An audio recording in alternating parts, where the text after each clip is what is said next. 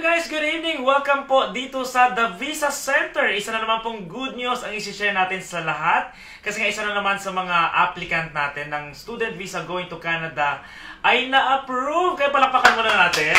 So we have here si Miss May. Ayan, congratulations ngayon pa lang in behalf of the Visa Center. So ito muna, Miss May, kwentuhan tayo. Paano nyo na-discover ang The Visa Center? Paano nyo kami nahanap? Nakita ko po siya sa newsfeed ko sa Mhm. Facebook. Ano yung dahilan? Bakit ka nag-decide na parang, okay, gusto ko mag-student visa going to Canada? Gusto ko lang, ano, pumunta ng Canada. o, di ba ang ganda ng, ng purpose niya? Gusto niya talaga pumunta lang ng Canada. Pero gaano ka, ano, kahaba yung, yung proseso ah, for you na natanggap mo itong approved visa muna from us? Mabilis lang po. Nung na-apply po si Ma'am Charm sa school po, Mm-mm. na doon sa school, actually po nakuha ko agad po yun. Tapos, Ah, so mabilis. mabilis lang po. So, eh, nandito na yata ang iyong ah, Mahiwagang business. Oh, mahiwagan. Oy, kompleto na siya. Yun nga lang, hindi natin pwedeng ilapit kasi nga yung mga personal ah, information niya. But, wow. So, okay, gusto ko lang malaman, how did you know na na-approve na yung iyong visa?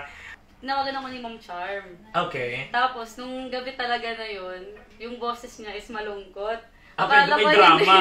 may drama talaga. Pinaprank lang pala ako ni Ma'am Charm. Okay. Tapos, sabi ni Ma'am Charm, Miss May, ready ka na ba? Sabi ko, Ma'am, ready na po ako. Eh, yung boses niya pababa ng pababa. So, ako naman, sabi ko, hala, baka hindi ko nakuha siguro. Hindi ako na-approve. O baka may kulang akong documents. Oh, or may Tapos- babayaran ka pa. Oo, Yung sabi ko, ano kayang kulang dito? Ba't anong ang boses ni Miss Charm? Mm. Tapos bigla siya nagsabi, ready ka na ba? Hindi kita ma-reach. Kasi yung number mo baka nasa Canada na. Doon na nakasigaw po talaga ako. Oh, congratulations.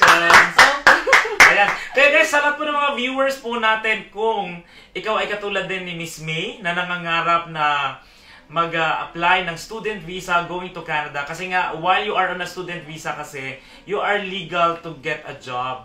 So, kung gusto mo mag-aral doon at the same time, magtrabaho, kumita ng mas malaki, at ma-experience mo ang buhay sa Canada. Ayan, don't forget to call us dito po sa The Visa Center or you can visit ang aming mga offices which is ah, ilalagay namin sa screen. Yan, para po ah, ma- madalo nyo kami for your free personal assessment. Again, I'm Julie Sorsano ng The Visa Center. Miss May, congratulations again. Good luck. thank you so much. Yan, thank you so much.